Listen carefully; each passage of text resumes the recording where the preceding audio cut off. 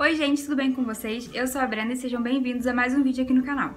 Hoje o vídeo vai ser mais papo de amiga mesmo, tô aqui no quarto e eu peguei meu celular, resolvi botar aqui na minha frente e começar a falar de um tema que vocês me pedem muito. Muitas pessoas me perguntam, Brenda, quando é que você vai gravar sobre o casamento? Quando é que você vai falar da festa? Eu senti vontade hoje de compartilhar sobre temas que são bem comuns ao casamento, sabe? Mas a vida de casado em si e não aos preparativos do casamento. Em outro momento eu vou falar disso, mas hoje eu queria muito compartilhar uma experiência minha.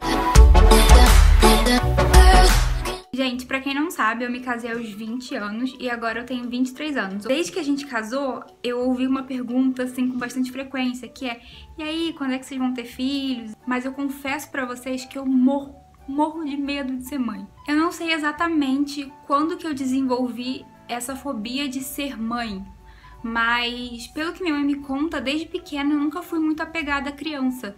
Isso não quer dizer que, nossa, Brenda, você não gosta de criança? Então, não, gente, eu gosto, sabe? Claro, porque tem algumas que a gente, né?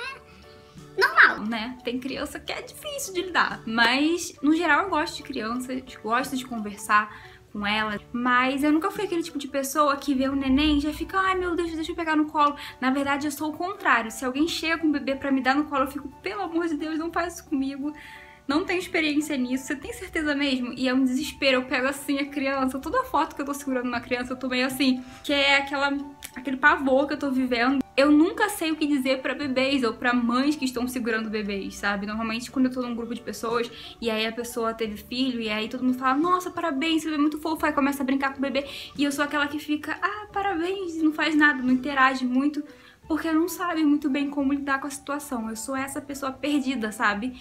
E eu fico muito feliz pela pessoa que teve filho e tudo mais, mas eu realmente tenho essa dificuldade enorme de interagir com bebês. E eu sei, gente, que a sociedade não tem que mandar no meu corpo, que eu tenho que ser mãe na hora que eu quiser, meu corpo, minhas regras. Só que eu sou casada, então é meio que meu corpo, nossas regras. Eu não sei se todo mundo vai concordar com isso, mas essa é a minha opinião. Eu acho que eu sou livre também para entender que o meu corpo é do meu marido e o corpo do meu marido é meu. Então a gente tem que entrar em consenso em relação a isso também.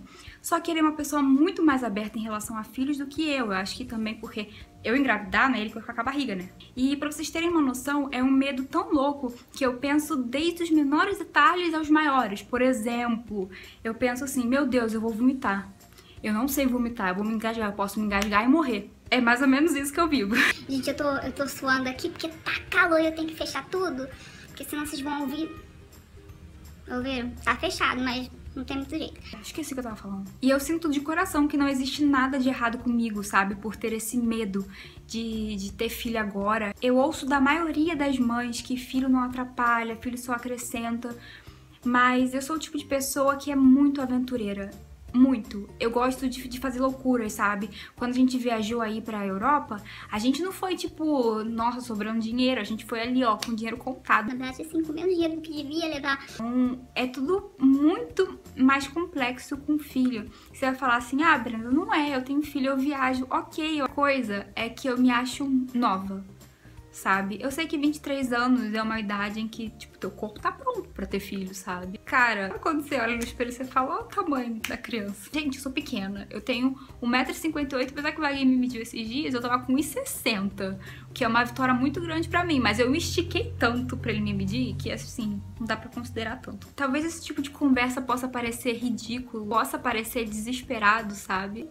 E em certa parte realmente é, porque eu tô um pouco desesperada. Mas eu peço que, por favor, vocês não julguem o meu modo de pensar, sabe? Eu acredito sim que filhos são bênçãos. Eu acredito também que tudo tem um tempo determinado. Por mais que as pessoas falem, ah, mas você já tem tanto tempo de casado. Cara, apesar disso tudo, eu gostaria de superar esse medo algum dia, sabe? Eu gostaria de de poder viver mais tranquilamente, sem esse desespero todo. Deve me deixar louca é sonhar que eu tô grávida. E, e pior que quando alguém sonha que eu tô grávida, não basta aquela pessoa sonhar que eu tô grávida. Mais gente tem que sonhar que eu tô grávida também. E aí tem que terminar comigo sonhando com a minha gravidez e com o Wagner sonhando com a gravidez da gente.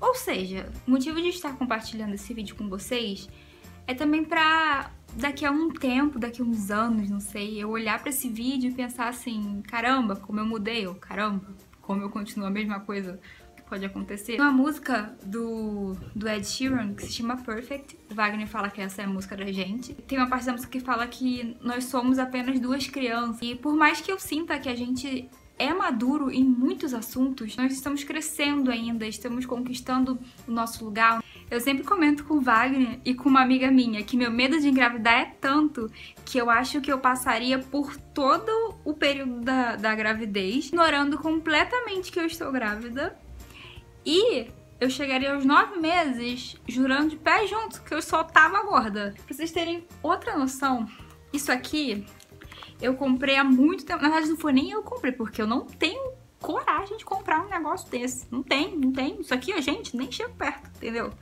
Não chego perto. Isso aqui foi Wagner, porque a gente ia comemorar nosso primeiro ano de casamento e havia uma suspeita muito grande de que eu estivesse grávida. E a gente ia beber vinho nessa noite. Né? Wagner falou assim: ok, nós vamos comprar vinho. Mas só se você fizer esse teste. E aí chegamos em casa e ele falou assim: toma, vai lá. E eu fiquei tipo assim. Mas o desespero foi tanto, minha gente, mas tanto que meu organismo ele sentiu. Ele sentiu que o negócio não tava bom para mim. E ele falou assim: "Eu vou te aliviar". Eu fui no banheiro, eu tive a constatação de que eu não estava grávida e eu nem precisei abrir esta caixa. Ou seja, venceu em janeiro de 2017. E eu nunca nem abri. Porque no dia que eu suspeitar que tô grávida, isso aqui, ó, isso aqui não vai rolar. Já viram o filme Garota Exemplar?